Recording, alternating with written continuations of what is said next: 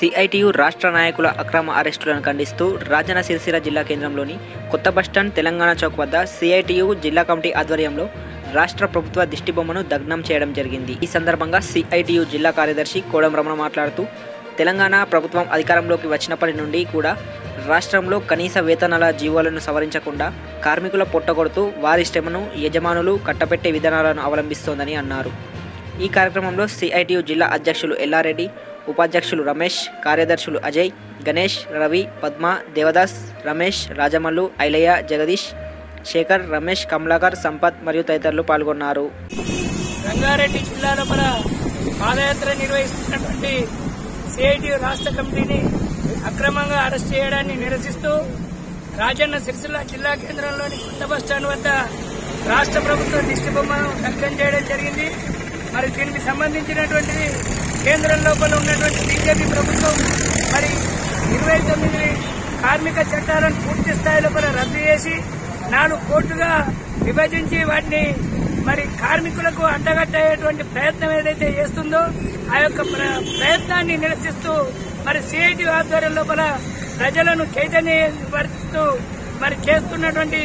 పాదయాత్రను మరి రాష్ట్ర ప్రభుత్వం అడ్డుకొని అక్రమంగా అరెస్ట్ చేయడం అనేటువంటిది టీఆర్ఎస్ ప్రభుత్వానికి సిగ్గుచేటు అనేటువంటిది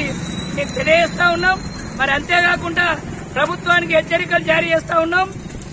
కేంద్రం లోపల తీసుకొచ్చినటువంటి ఏవైతే చట్టాలు నాలుగు కోట్లు ఉన్నాయో వాటిని రద్దు చేస్తకు టీఆర్ఎస్ ప్రభుత్వం కూడా మరి కార్మిక వర్గానికి అనుకూలంగా వాస్తవంగా అసెంబ్లీ లోపల తీర్మానాలు చేయాలి. కానీ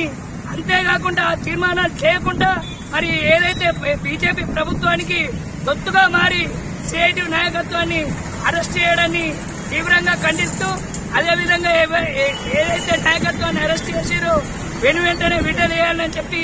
రాజన్న సిరిసిల్ల జిల్లా సిఐటి జిల్లా కమిటీ పక్షాన తెలియజేస్తా ఉంది ఎనిమిదవ తేదీ నుంచి కార్మిక గర్జన పాదయాత్రను పారిశ్రామిక ప్రాంతాల్లో నిర్వహించడం జరుగుతూ ఉంది. అందులో భాగంగా ఈరోజు రంగారెడ్డి జిల్లాలో పాదయాత్ర చేస్తున్న బృందాన్ని మరి అక్కడ ఉన్నటువంటి పోలీసులు అక్రమంగా అరెస్టు చేయడాన్ని తీవ్రంగా ఖండిస్తా ఉండడం మా సిఐటి రాజన్న సిరిసిల్ల జిల్లా కమిటీ ఆధ్వర్యంలో తీవ్రంగా ఖండిస్తూ ఈరోజు రాష్ట్ర ప్రభుత్వ దిష్టిబొమ్మను సిరిసిల్ల కొత్త బస్టాండ్ వద్ద దగ్ధం చేయడం జరుగుతూ ఉంది. మరి కేంద్రంలో అధికారంలో ఉన్నటువంటి బీజేపీ ప్రభుత్వము కార్మికులకు యజమానులకు పెట్టుబడిదారులకు కానిస కట్టు బానిసలు చేసే విధంగా మరి ఇరవై తొమ్మిది కార్మిక చట్టాలను నాలుగు కోట్లుగా విభజించి మరి కారు కోట్లు తీసుకొచ్చి కార్మిక వర్గానికి నష్టం చేకూరుతున్న ఉద్దేశంతో అదేవిధంగా మన తెలంగాణ రాష్ట్ర ప్రభుత్వము మరి కనీస వేతనాలకు సంబంధించి